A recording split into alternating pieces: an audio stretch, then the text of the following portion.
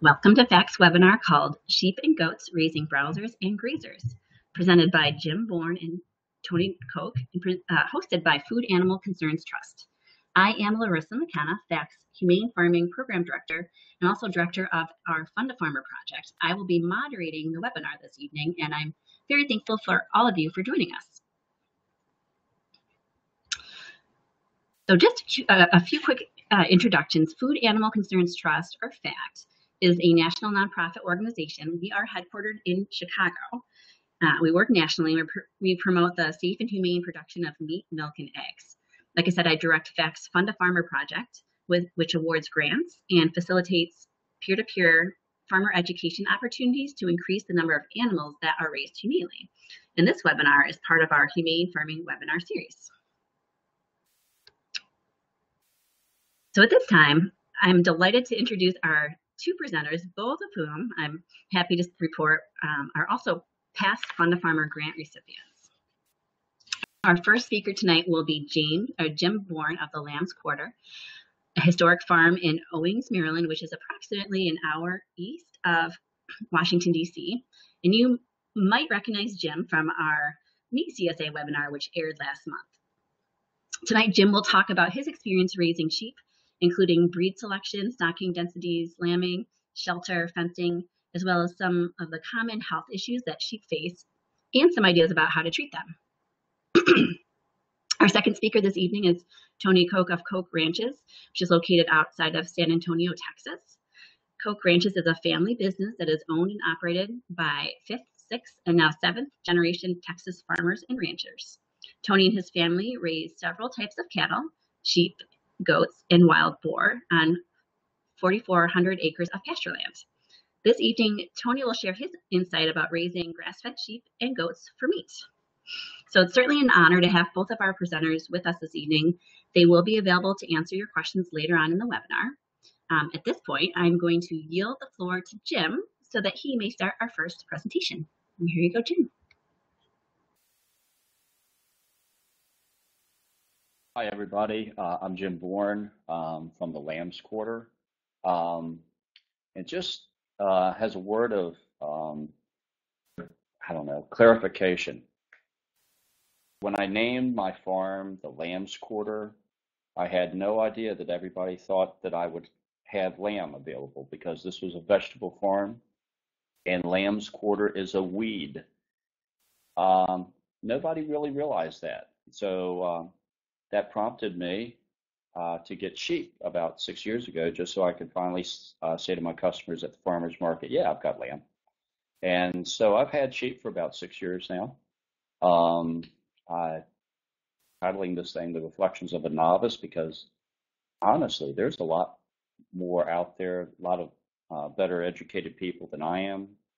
Uh, I just want to really share my experiences, what I've learned. I've learned a lot through hard knocks um, and uh, sheep are really a um,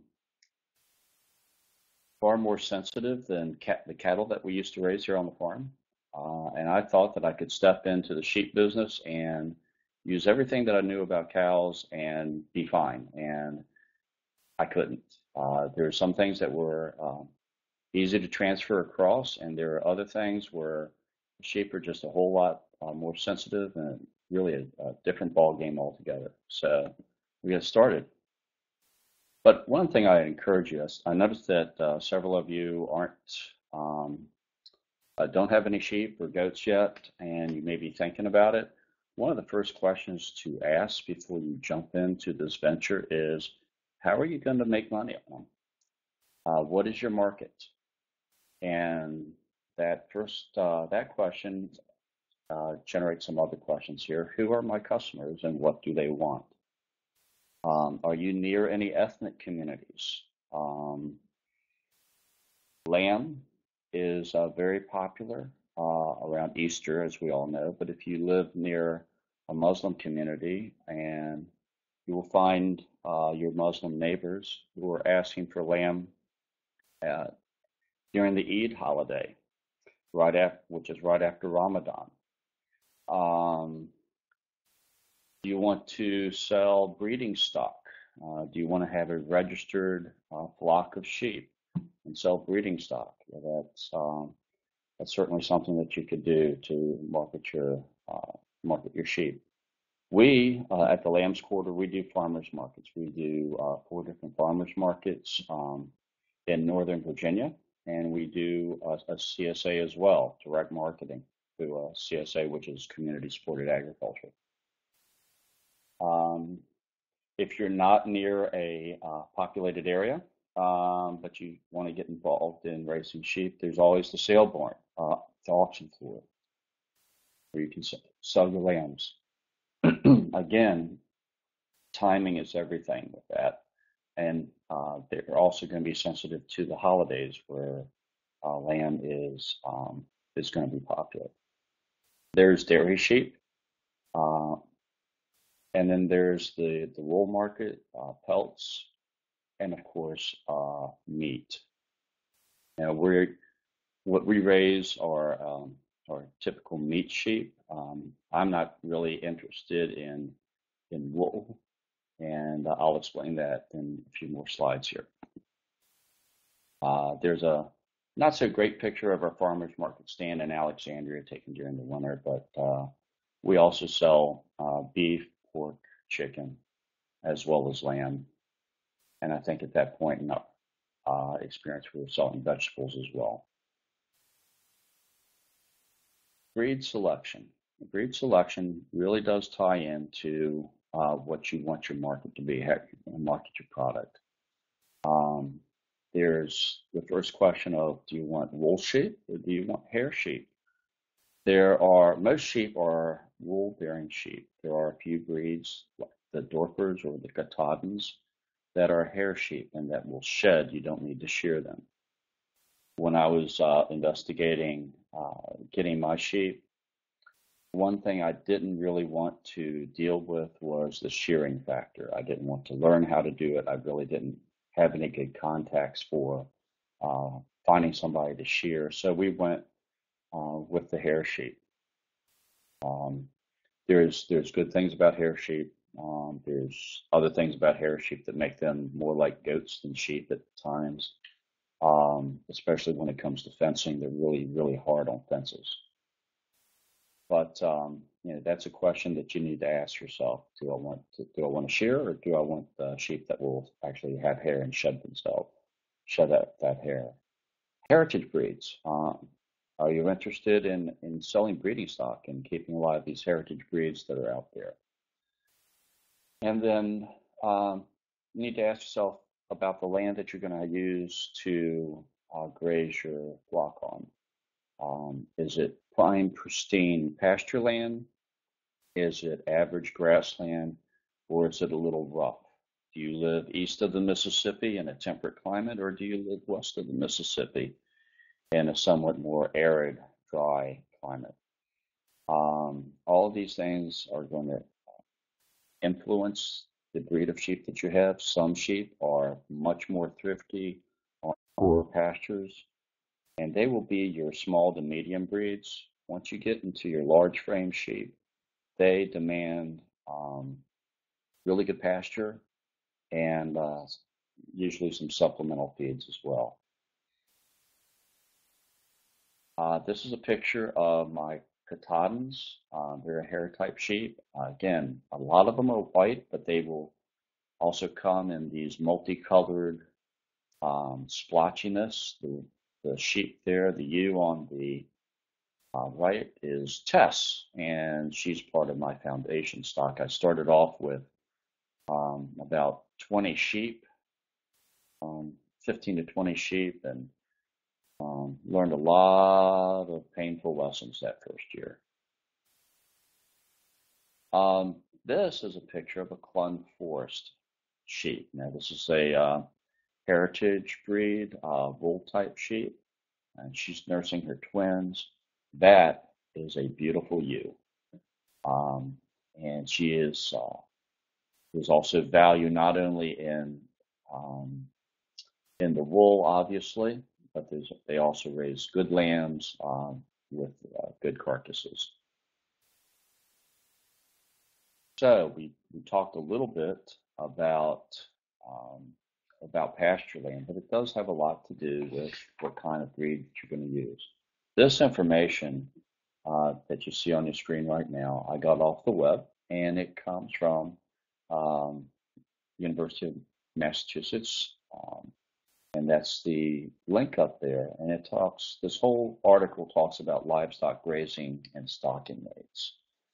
Um,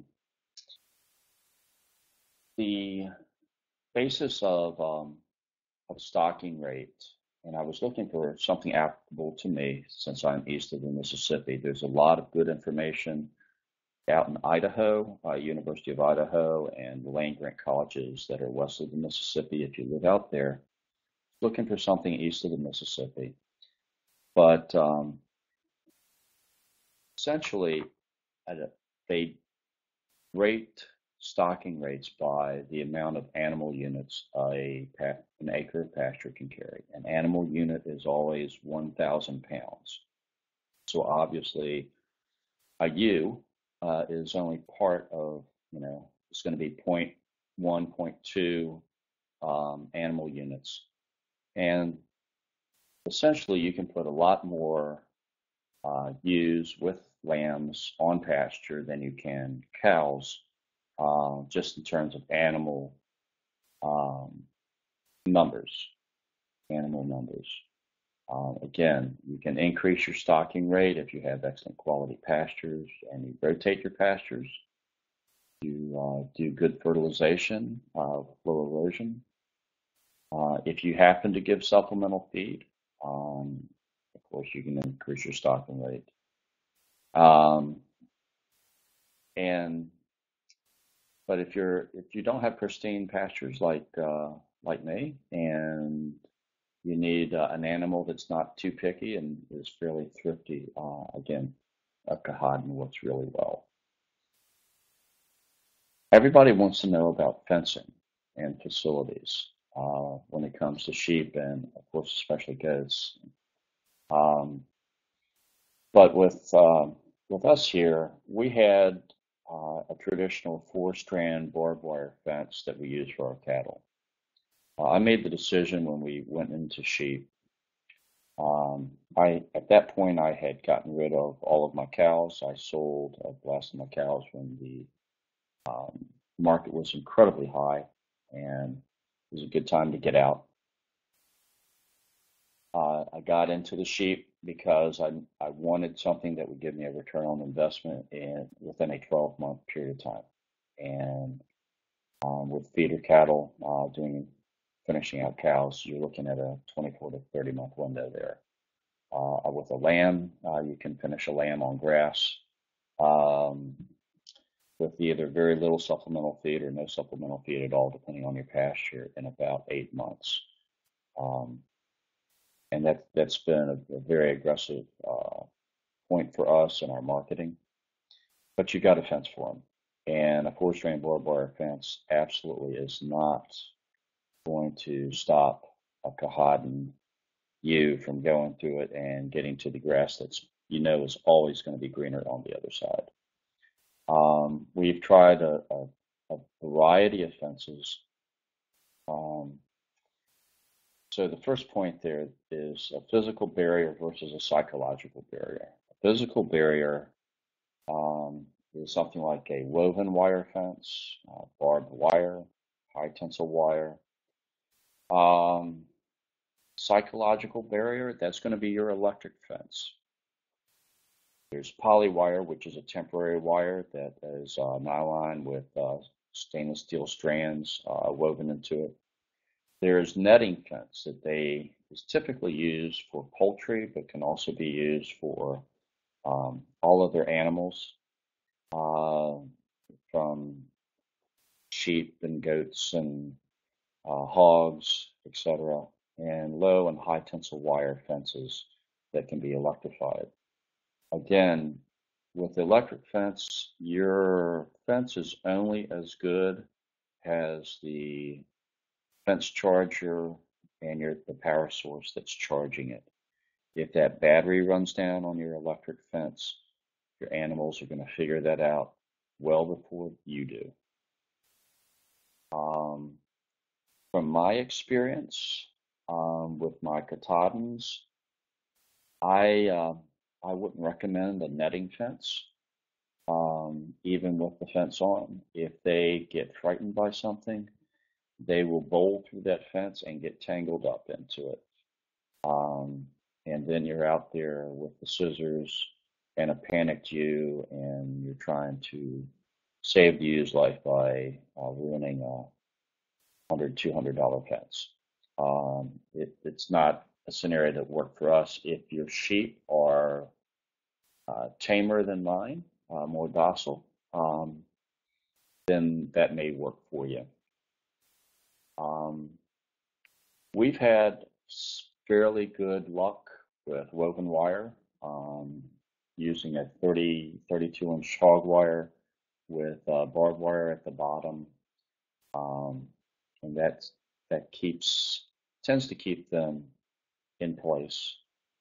Um, sometimes it would, even with that, it would help to run a uh, strand of electric wire right at that bottom because they tend to want to get underneath and push up on that fence. Um, they're very aggressive animals. I, with, I think the, the hair sheep are more aggressive on a fence than uh, typical wool sheep.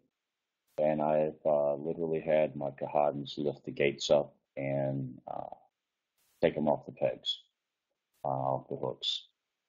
So uh, they can be challenging. Um, another thing to, to ask yourself is uh, intensive versus extensive. Do you have a large space that you can run um, for your pasture, or do you need to be more intensive because you don't have that much space, don't have that many facilities, or you have better facilities? An extensive situation, you wouldn't really need a lot of uh, facilities. Uh, a shed or two would be fine. Uh, barns, sheds, and run-ins, uh, what do you have in place? Um, what do you anticipate? I really, really like building um, eight foot high, uh, 16 foot wide hoop houses, and you can run them out uh, 48 feet and cover them with a uh, silage cover and keep them uh, dark.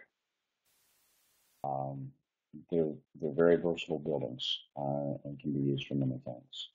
You're going to need handling facilities again, um, there, nothing can replace having a really good book. Um, and of course, access to the internet, which obviously we all do tonight, uh, to look up uh, these things and, and, get some really, really good ideas.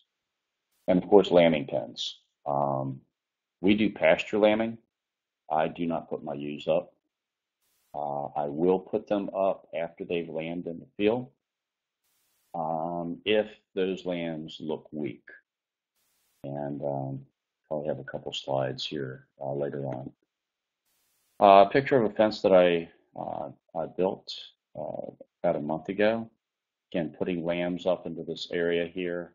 Good steel gate, woven wire, um, uh, supported telephone poles that had been cut in half with steel T-posts driven down. Um, it's, it's done very well for us. A picture of the my big shed that uh, we we will uh, put the all the sheet up in in very inclement weather, and there I've put uh, hay down along the sides so that um, know, spread them out and let them eat. Right now we're running about uh, uh, I guess it's 60 sheep in the field with uh, we've got 23 lambs that have dropped this spring. And that's a picture of a lambing pen.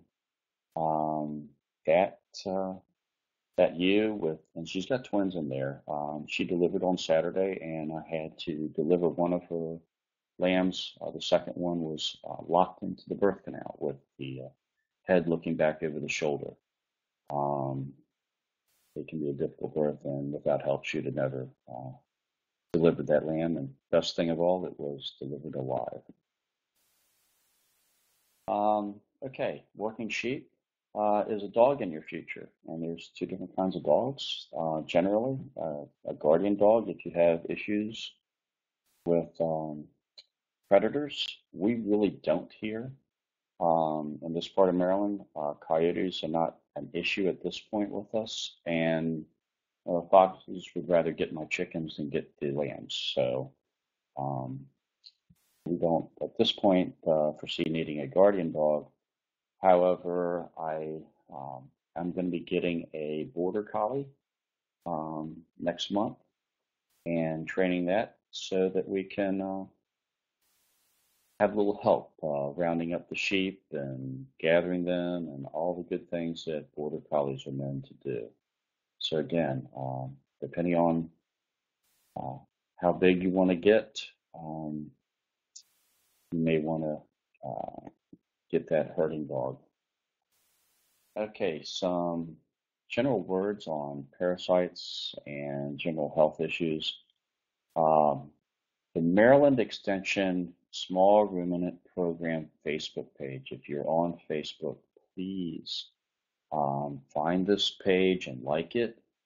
Have valuable information, links to all kinds of great um, articles out there.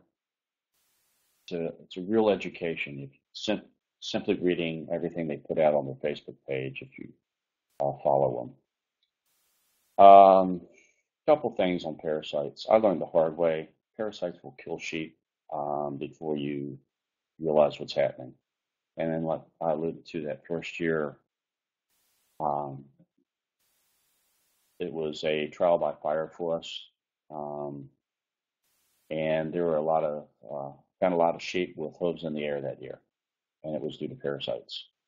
Uh, you cannot leave your sheep on the same pasture uh, for more than 30 days. Um, it's just a death sentence for them, uh, especially if it's a small pasture and you're uh, trying to force them to eat everything. It's just got to keep them moving. They're not as tough as cows, um, and um, it's no fun uh, having to deal with that. The one of the things I learned uh, during that time, I called my vet really, really good to have a vet on call. And I do. I have a, a, wonderful vet, and I can talk to him over the phone. And uh, Dr. Chris was very blunt with me. He said, You could do all the parasite intervention that you want with ivermectin and uh, all the other drugs, or you can work on building a parasite resistant herd or a parasite resistant flock and do good pasture management, um, choice is yours. And so I opted for um, better pasture management and culling out the uh, ewes that were susceptible to parasites. And um, since that time, I don't believe I've only lost one other uh, ewe to parasites. Um, again, it's um, it's what you want to do. It's what you choose to do. Uh, there is a real issue with the dewormer resistance, so you need to um, move that along and uh, rotate your dewormers if you use them. And I keep dewormer with me as well. I, if I see something that needs treatment, you got to treat it. Um, rotating pastures, though, that is uh, that is critical to breaking that cycle of, of parasites and then learning to recognize parasite related issues. Again, there's an excellent program out there. I have not taken it yet, but it involves looking at the eyelid and scoring um, the eyelid. Apparently, that uh, gives you excellent information as to uh, the amount of parasites there. It's a whole program. Uh, again, that information is out there, and I know it's on the Maryland Small Maryland Extension Small Ruminant Program Facebook page. Um, watch for bloat. Um, I've got horror stories from this past year about that. Um, bloat will kill your sheep, and sheep are very, very susceptible to bloat. And sheep are also copper sensitive. Watch your minerals. Um, you cannot feed beef minerals to sheep. You cannot feed goat minerals to sheep. Um, uh, copper will kill your sheep. Uh, if you want to vaccinate, find out what vaccines uh, you need to be using. Have a good have good handling facility. Um, get yourself a good dog that'll help you. As with anything, with anything farming, an ounce of prevention is always worth a pound of cure. Um, watch your animals. There's no, nothing out there that can replace your good observation. If an animal doesn't look right, it's probably because something's not quite right. Find out what it is. Cultivate a good relationship with a good vet and get yourself a good library. Um, again, uh, a good library, uh, a good vet, wonderful things to have. Lambing, um, I alluded to that lamb that you this past Saturday. Um, the lamb there that she's looking on the right, um, that lamb was born about five minutes before I took that picture, and that was the lamb that I uh, I had to deliver because it had the head looking back over its shoulder. Um, this is my daughter. We had to put that uh, those lambs up into a pen, and she's walking backwards, and um, that's the best way to get the ewe into the pen. Uh, she will follow the lambs. There's no sense in, in driving her because she's not even uh, close to being acceptable to something like that. And that's the happy family inside uh, the pen. Land grant universities in your state are a good place um, to get yourself educated. Uh, find the resources. Just about every uh, land grant university has something out there with uh, small ruminants, goats, and sheep. Storey's Guide to Raising Sheep is my go-to book. Um, if if there's a book that you need to get, that's the one. Uh, find out if there's a local extension agent that uh, is good with sheep or goats. And um, an excellent magazine if you are into rotational grazing um, intensive pasture management is the Stockman Grass Farmer. Um, most of the articles in there are geared towards the beef producer, uh, but a lot of the information there uh, touches on to rotational grazing for sheep, etc. And that's me. Thank you. Thank you very much, Jim. Um, Jim will be available later in the webinar to answer all sorts of questions. I'm going to pass the mic now to Tony from Koch Ranches. Here you go, Tony.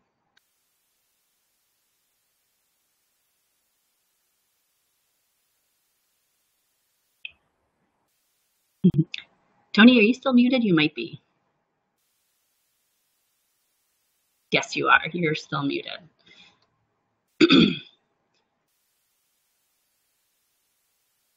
Tony, can you hear me?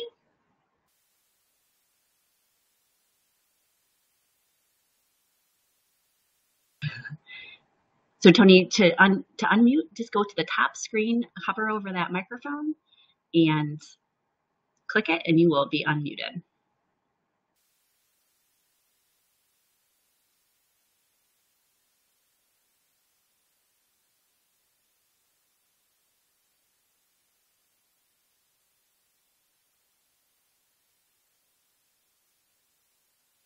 Tony, are you there?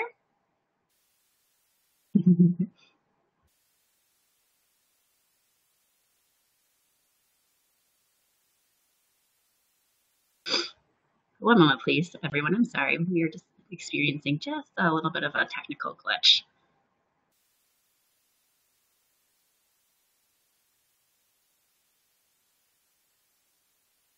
So Tony, to unmute, just go to the top hover over the microphone and click it, and you should become unmuted.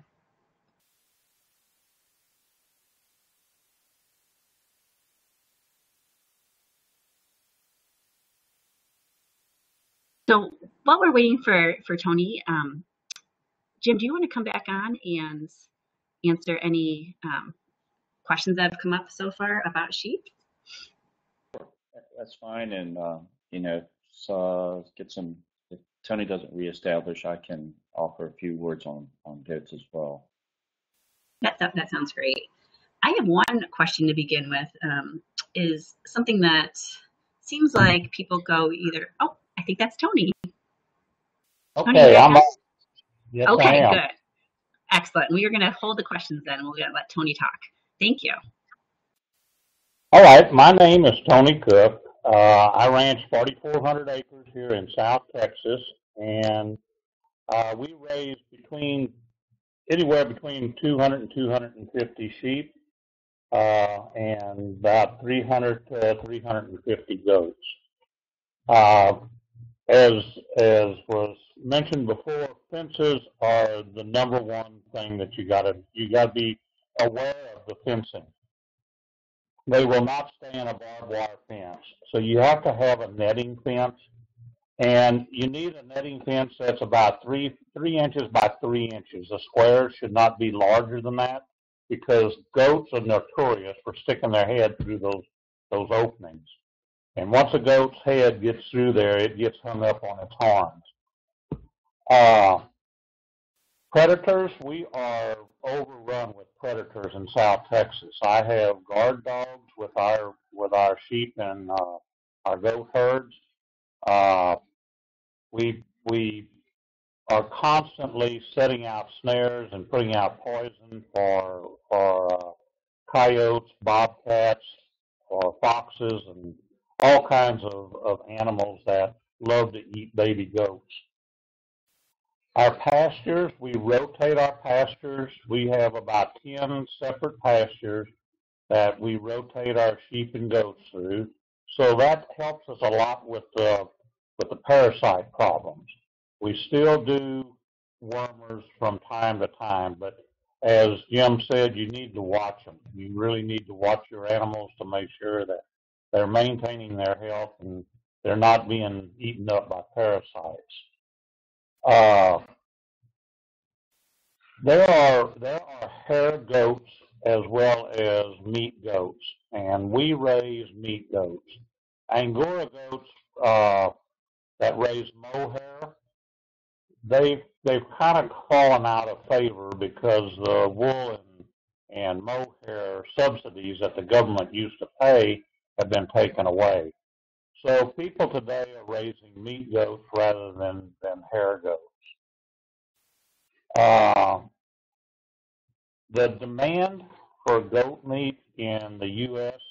outruns production, and of all the meats that are eating uh, that are being eaten worldwide, goat meat is the number one meat that is eaten worldwide. There are about 2 million uh, goats in the U.S. today, and that's an increase of about 400% over what was here in 1990, in 1987. 86% of all goat producers sell direct to the consumer. Uh, the end of the wool and goat hair subsidy has encouraged hair goat producers to switch to meat goat production. We have a store in San Antonio where we sell our meats and we have all kinds of other healthy foods there. We run a grass fed operation. We don't give them any antibiotics. We don't give any kind of, of uh, chemicals or any kind of steroids or anything like that to any of our animals.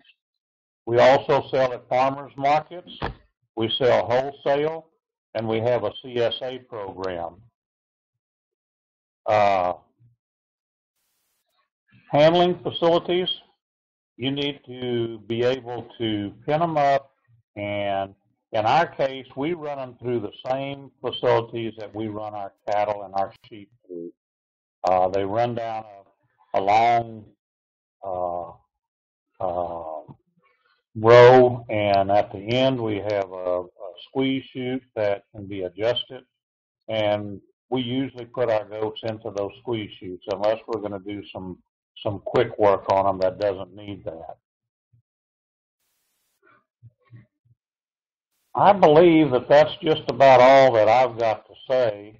Uh, the pasture, you want, goats are browsers. They're more so browsers than they are grazers. Sheep are grazers and they eat grass and forbs, whereas the goat prefers to eat off of a bush. They eat, they eat all kinds of, of leaves and brush and stuff like that in our country. Uh, I think that I've, I've got pretty much covered everything that I need to cover on those.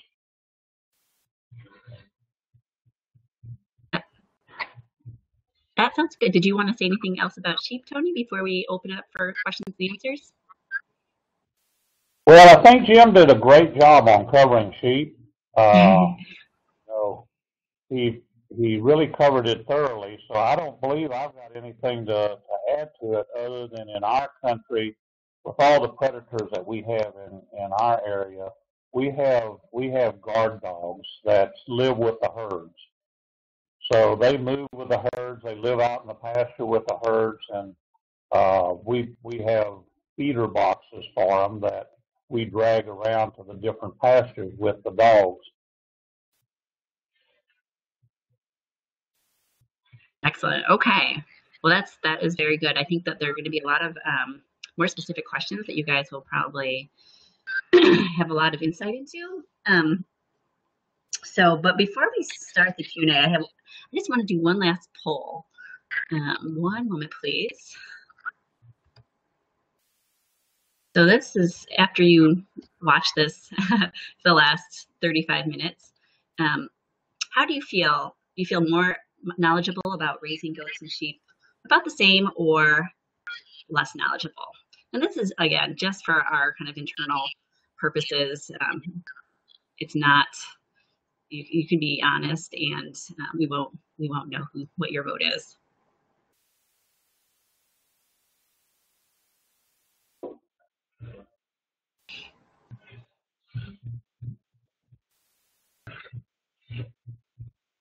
Okay, but just another minute.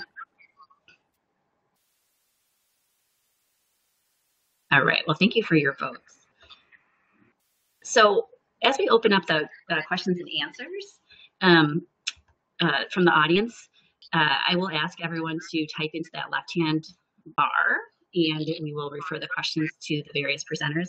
Let me just start with one. Um, I, I know that um, tail docking is a little bit of a I don't know if it's controversial or not, but I've heard different things about it, and um, people use it to re reduce or prevent uh, fly strike. And I'm just wondering, um, both of you, Tony and Jim, um, do you do you practice tail dock, and if so, why? Or so if you don't, then how do you get around um, uh, a fly strike? We'll start with we'll start with Tony. I didn't hear the question. I'm sorry. Oh, the question is about tail docking for sheep and Oh, whether it's something that you practice. I know that people use it um, for to prevent or to reduce the incidence of fly strike. And I don't know if that's something that your operation um, uses. We do not tail dock.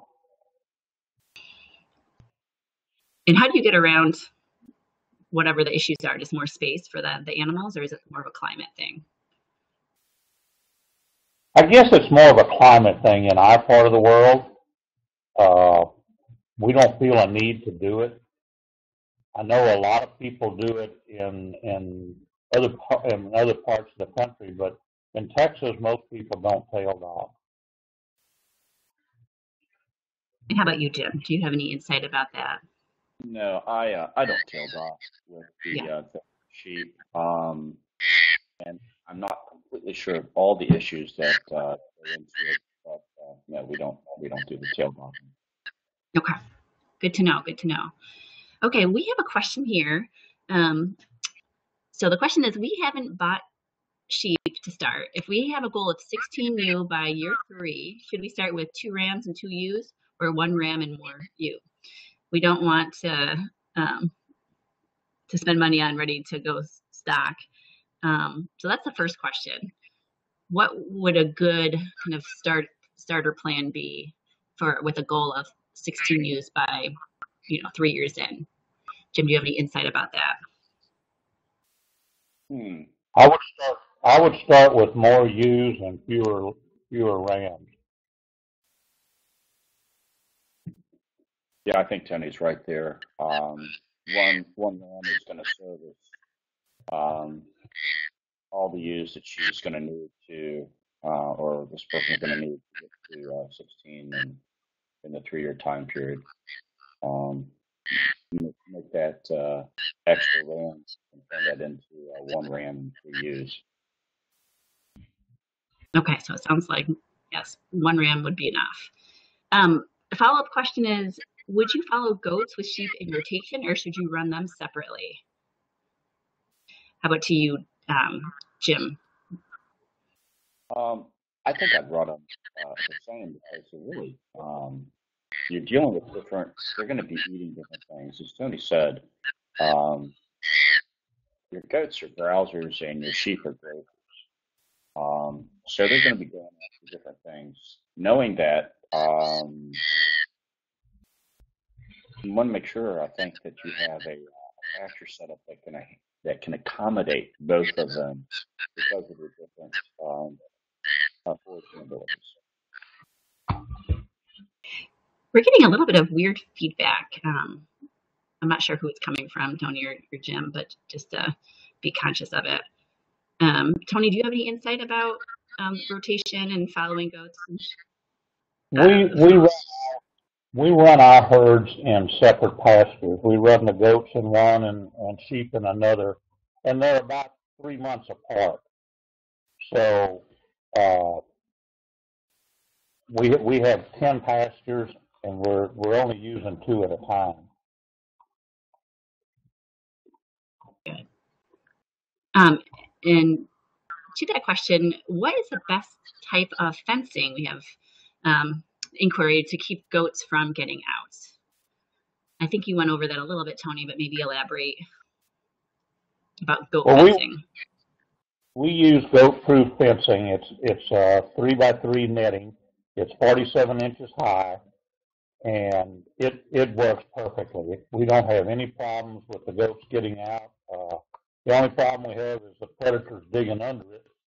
And, uh, as far as, as keeping the sheep and the goats inside, it, it, it works perfectly. Now, you, another question has to do with trimming hooves for sheep and goats. That's kind of a follow up, I think, on the, the question I had about um, tail tail docking. But do you all, uh, Jim and uh, Jim and Tony, do you practice um, hoof trimming on your animals? We'll start with Tony. We do not. Uh, we have a lot of rocks in our area, so they they keep their hooves pretty well trimmed by walking through the rocks. And Jim, any any insight about that? No, I, I don't I don't uh, do any hoof trimming. Um, every once in a while, I have a um, have a ewe that comes up with a sore foot, and we'll do a little trimming if necessary. But uh, no, I don't have, have any regular basis for trimming. Thank you for that. So we next question is we own a dairy and have extra ewes and rams. What is the best market and avenue to sell dairy sheep? I know that you all don't um, uh, deal with dairy, the dairy side of type of sheep, but do you have any insight or thoughts about uh, what to do with extras? Jim, I'll, I'll give that question to you first. Um, I really don't. I, I see that the, uh, the question is from uh, Iowa. Um, you know, I don't know what the um, what the business is out there in terms of are there other dairies out there? Do they have a sale barn that can accommodate something like that? Um, you know, I, I, I don't really know where to start there. Yeah, yeah, yeah. Tony, do you have anything uh, to add? No, I really don't. I don't. I'm not familiar at all with dairy sheep. We have, a- we have, thank you for for that information. Um, a question from someone also in Maryland, Jim. Um, the question is, when you move your animals out to pasture, when do you move them out to pasture in the spring, or are they outside in pasture all year? all year round. Um, I try to have a good stockpile of fescue um, going into the, the wintertime in some of the back pastures. Um, I'm also letting them graze over some ground that I have uh, um, and I've had to feed less than a dozen bales of hay, um, dozen square bales of hay this year. Again, I'm only uh, pushing about um, 60 that into consideration. So two two big round bales and uh, everything else. Jim, are you? I'm sorry. I sorry to interrupt you. Are you? Um, I feel like I think that we're getting feedback from your computer. I don't know why because it wasn't happening when you were presenting. No, I, I, I feel it too, and I don't know what's going on. okay. It's just something that happens on these webinars. Um, okay, so thanks for elaborating about that. Next question is actually from someone from Texas. Uh, what do you do about the lumps that appear and burst behind the, the goat's ears? Uh, we have been told that it's CL and very dangerous and contagious, but none of our goats have died or gotten ill as a result. I'm going to um, refer that one over to Tony. I don't, I don't know what she's talking about. I've never heard of that. Uh, I, it- has she, I, I wonder if she's talked to her vet about it, because I've, I've never, I've never run into that.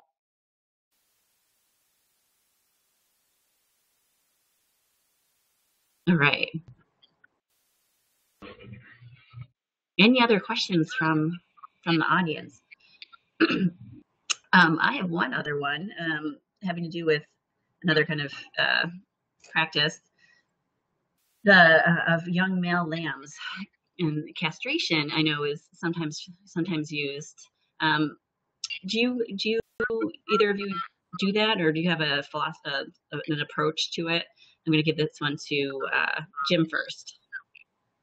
Sorry, I was trying to figure out what's going on with the Uh, Jim, do you happen to be on your phone also and, No, the phone's and your dead. computer? The phone's Oh. on. So I don't know why. Interesting. Okay, well, the question has um, uh, uh, that I had was about castration of young male lambs, and if that's something that you found the need to to practice in your herd, your flock. Uh, honestly, it would probably be better if I did. I don't. Um, the Katahdins are um, mature very. Uh, they have, I'm sorry, they hit sexual maturity very young, and so yes, that can cause a problem. Um, and at this point, we haven't uh, haven't gone into yet. But that is something that we're looking at in the future. Thank you, uh, Jim. Tony, how about you? We do castrate our, our lambs and our kids. Uh, we do it very early when they're about a month old. Uh, and, and, you know, it, it's, it's a lot better for the whole herd to have them castrated as they're growing, growing and maturing. Excellent. Thank you for thank you for um, for adding to that. Um, any other questions from our audience at this point? Well, if we if there aren't any other questions, I'm just going to close this webinar by saying thank you for joining us, all of you, and um, a recording of it will be available very soon. Actually, if I could ask the presenters to go on mute one more time, that might be helpful. Um, so this webinar will be archived on our website, and I'm also going to email it to you all, along with the slides, so that will be help- helpful. Um, if you would be so kind, please take a few minutes to complete our survey that's going to immediately follow the webinar. It's just a couple questions, and you can give us some feedback about um, topics that you'd like to see on future webinars and feedback for the presenters. Um, you can also sign up to receive email updates about Fund a Farmer to learn about future webinars, scholarships, and our grant opportunities, of course. And I'd like to give a sincere thank you to both of our presenters, Tony and Jim, for those excellent presentations and really taking the time to answer uh, all the questions that came in from our audience. And I hope you all enjoy the rest of your evening. Tony and Jim, do you have anything else that you'd like to add before we sign off? No, thank you for allowing us to make our, our comments. Appreciate it. Yeah, thank you so much for everybody that joined us, and I hope it was uh, helpful. Thank you, Jim. Thank you, Tony. And I hope that you all have a good rest of the evening. And I hope that we all keep in touch. Take care. Bye bye. Bye. thank you. Bye now.